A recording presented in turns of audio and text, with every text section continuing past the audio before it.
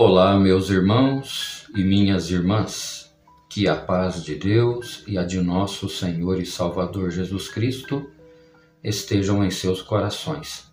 Graça e paz da parte de Deus a todos nós. Fico feliz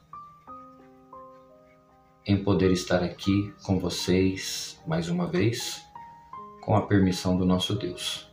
Todos os dias, com a ajuda dele, tenho publicado algumas mensagens, tenho me dedicado para que da minha boca saia algo bom, sempre gerado pelo Espírito Santo que eu sei que habita o meu coração, e que toda palavra que a você for dirigida possa te fazer bem, como tem feito a mim, graças a Deus.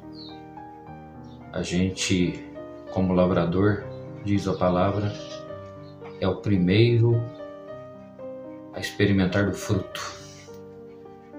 Então, quando Deus me traz alguma coisa para falar com você, Ele também já falou com o meu coração. Ele fala com todos nós. E eu hoje quero trazer um tema aqui que é falar sobre a perseverança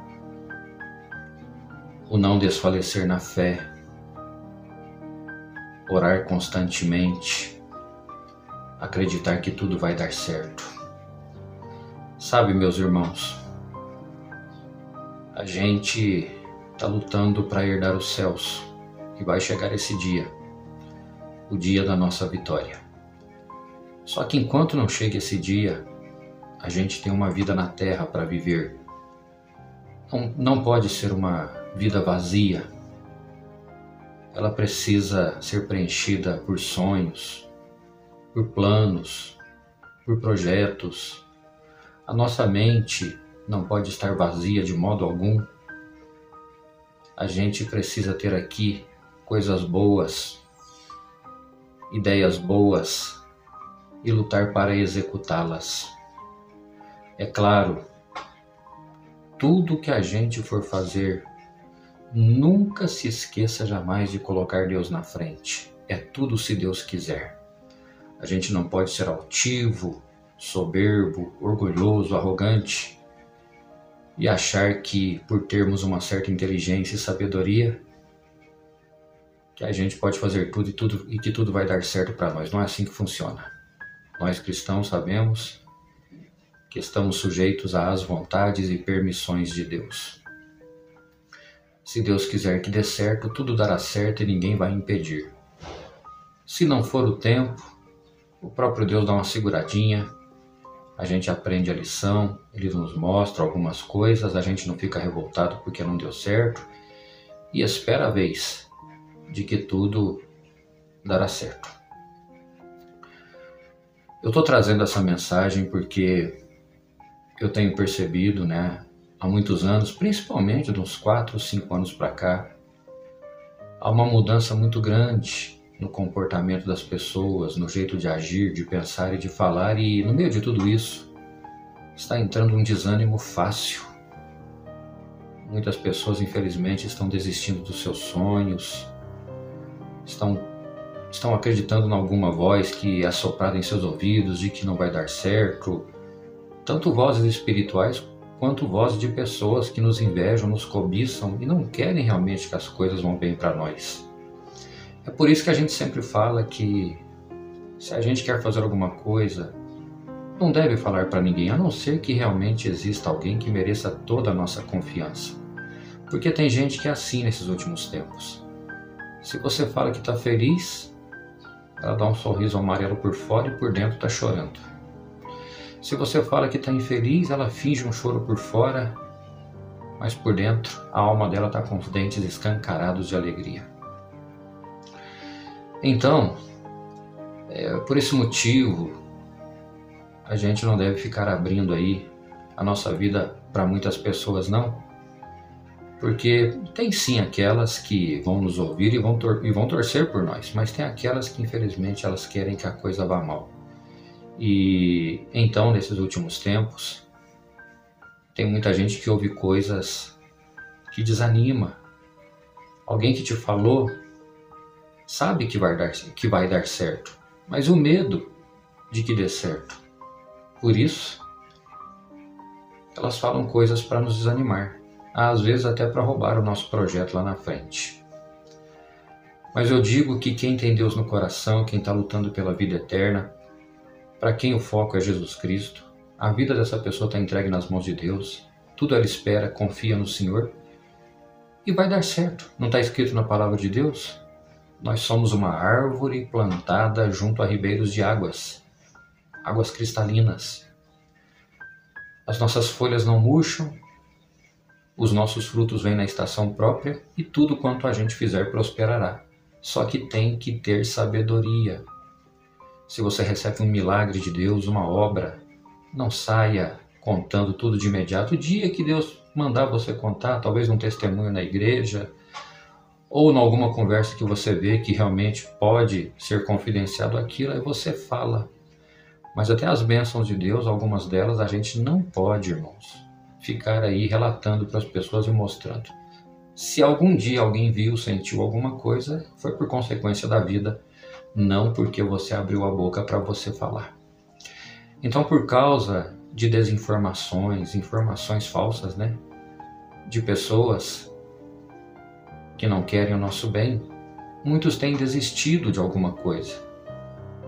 E a gente precisa mais ouvir a voz do coração e precisa tentar, irmãos.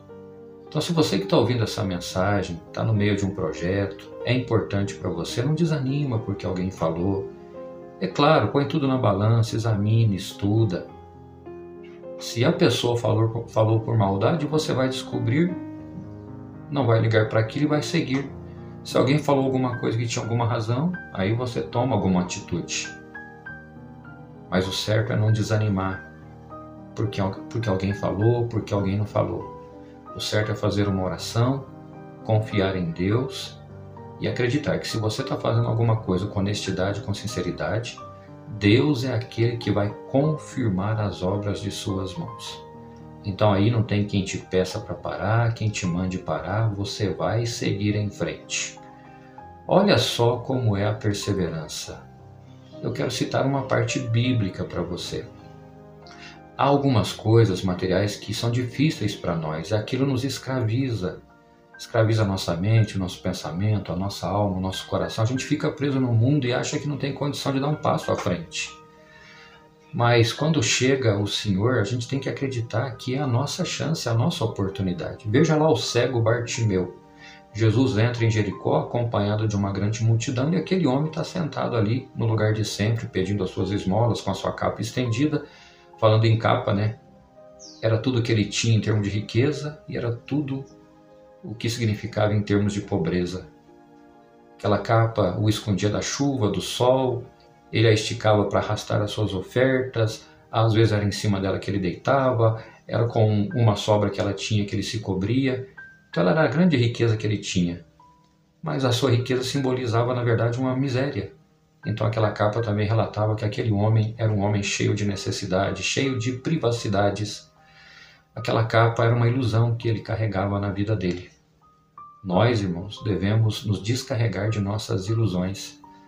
Quando ele percebe um barulho, um tropelão de gente lá, muita gente andando, caminhando, falando alto, ele pergunta o que está acontecendo para alguém. Essa pessoa fala para ele: É Jesus de Nazaré que está passando aí ele não pensa duas vezes. Quando ele viu, ouviu falar que era Jesus, testemunhos, ele já tinha é, ouvido falar né, que Jesus curava cego, surdo, paralítico, ressuscitou mortos, tinha uma palavra bonita, uma palavra de poder, falava de uma glória, de um céu, falava de Deus, pregava as boas novas, trazia uma linda mensagem. Então ele nem estava acreditando que, que naquele instante esse homem do qual ele já tinha ouvido falar estava passando por ali.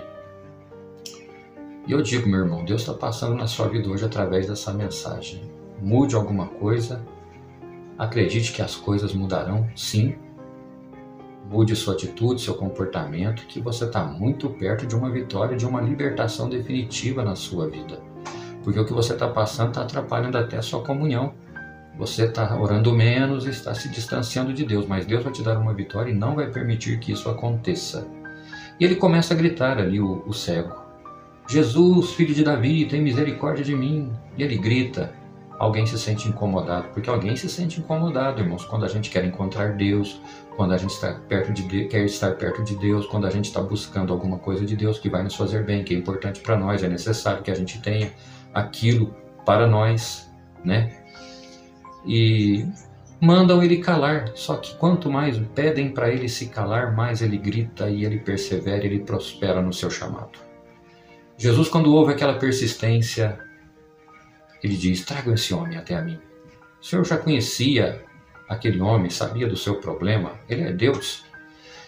Quando chegam para Bartimeu e falam: O mestre está te chamando, a primeira coisa que ele faz, irmãos, a primeira coisa que lhe passa pela mente é lançar, é lançar de si a sua capa. Rapidamente ele pensa: não preciso mais dela. Agora minha segurança chegou a Jesus Cristo. Esse ser sublime vai trazer a minha libertação. Eu, eu não sei o que ele vai fazer para mim. Se ele não me curar, mas pelo menos a minha alma está liberta. O Senhor se lembrou de mim. Mas quando ele chega, o Senhor Jesus pergunta para ele: O que você quer que eu te faça? Ah, irmãos, aí ele não titubeou, ele não duvidou, ele não hesitou. Que eu veja, mestre. O Senhor só fala assim para ele: diferente de outros cegos que foram curados. Né? Um foi curado com barro, outros foram curados com cuspe, né? alguém teve que ir lá no tanque se lavar, mas esse não. O Senhor Jesus disse para ele que, então veja, irmãos, na hora, os olhos daquele cego foram abertos. A partir dali, com certeza Jesus conquistou mais um seguidor, mais um discípulo, Aquele homem teve a sua vida mudada, transformada, ele saiu daquela miséria, pôde voltar normalmente para sua família, enxergar todo mundo, amigos, não sei se tinha pai e mãe ainda, mas os parentes todos, enxergou a cidade, as flores, agora ele via com seus olhos a beleza deste mundo da natureza. E a vida dele, a partir daquele encontro, foi transformada. Por quê?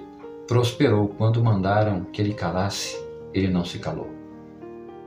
Ele gritou mais alto e o Senhor o chamou. Queridos irmãos, queridas irmãs, alguém um dia vai te mandar parar. Os próprios anseios e dificuldades da vida talvez vão te mandar parar um dia. Talvez o cansaço dos braços, das pernas, da mente vão te mandar parar, mas não pare. Continue buscando. Continue acreditando que Deus é com você te trouxe essas palavras. Nossa vida não está lá essas coisas tão afinadas com facilidade. Todo dia um leão para matar, um urso, uma guerra para vencer. Mas não desanima, persevere em oração, não desfaleça na fé, porque a sua vitória será muito grande. Deus ama a persistência. Que o Senhor te derrame agora a sabedoria para você filtrar o que te é falado. Tem coisa que vem para ajudar, mas tem coisa que vem para nos derrubar. Tem coisa que vem para nos fazer desanimar. Desistir de coisas que são tão importantes para nós. E Deus não quer que você desista. Ele quer fazer de você aqui na terra um homem, uma mulher vitorioso, vitoriosa. E quer mostrar que está na tua vida. Mas Ele te pede, em tudo, primeiro a minha palavra, os meus mandamentos, os meus estatutos, os meus conselhos a crença irrevogável em Cristo Jesus como seu único Salvador. Quem tem Jesus Cristo, irmãos, tem um pastor que nada deixa faltar para ele. E nenhuma guerra é perdida porque o Senhor também é o Senhor dos exércitos, é o Rei da glória, é o seu amigo de todas as horas. Então, saiba segredar algumas coisas, guardá-las no seu coração, deixar isso só para você e para sua família. E Deus vai te recompensar por isso. Então não deixe de cantar um hino, não deixe de ler a palavra. Seja espiritual, procure sempre ter a mente de Cristo. Aí você vai descobrir que, em primeiro lugar, você vai buscar o reino de Deus e a sua justiça, e as demais coisas te serão acrescentadas. Então não seja cuidadoso com a sua vida quanto ao que você vai comer, beber, vestir ou calçar. O Senhor mesmo disse, né? Repito: olhe as aves dos céus. Elas não semeiam, não cegam, não ajuntam em celeiros, mas o Pai Celestial as alimenta. Olhem só para os lírios do campo, não tecem, não fiam, enfim, não trabalham. Nem mesmo Salomão, em toda a sua glória, conseguiu vestir-se como um deles. Se Deus cuida dos pássaros, se Deus cuida dos lírios, não vai cuidar de você, que é feito à imagem e semelhança dele? Então sonhe, projete, trabalhe, mas nunca ponha as coisas materiais na frente das coisas espirituais.